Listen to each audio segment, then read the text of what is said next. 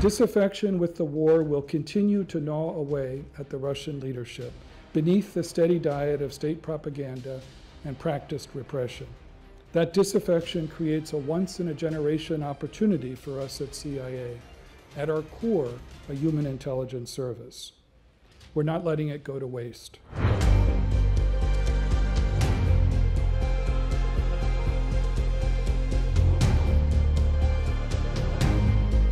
It is striking that Prigozhin preceded his actions with a scathing indictment of the Kremlin's mendacious rationale for the invasion of Ukraine and of the Russian military leadership's conduct of the war. The impact of those words and those actions will play out for some time, a vivid reminder of the corrosive effect of Putin's war on his own society and his own regime.